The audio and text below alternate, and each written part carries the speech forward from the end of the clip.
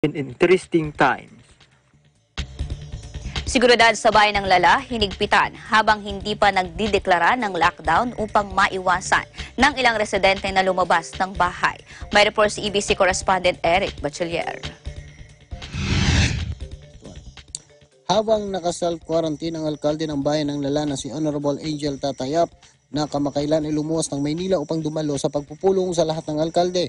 Nagpalabas ito ng mensahe sa mga nasasakupan na wala pa umanong lockdown ang bayan. Ngunit inabisuhan naman ng alkalde na hihigpitan umano ang mga checkpoint sa mga entry point ng bayan lalo na sa mga barangay katuwang ang mga barangay officials. Dagdag pa ng alkalde na sisiguraduhin ay mamonitor maigi partikular na doon sa mga individual na hindi taga-bayan ng lala. Pinagbawalan din umano ang mga individual na nagpapalending na pumasok sa bayan at ipagpaliban na lang muna ang paniningil dahil na isang bayan na manatili na COVID-19 free. Hinigpitan din ng bayan ng Baroy ang mga pagmamonitor sa mga pumapasok na sasakyan na siyang pinaka-boundary ng bayan ng Lala at Baroy. Kaya paalala ng alkalde na sumunod na lamang sa kautosan ng lokal na ehekutibo na manatili sa loob ng bahay upang hindi na ito makapagdulot ng pangamba sa mga lumalaganap na sakit na nakakahawa lalo na sa mga residente sa bayan ng Lala. Para sa Eagle News, Eric Bachiller, we live in interesting times.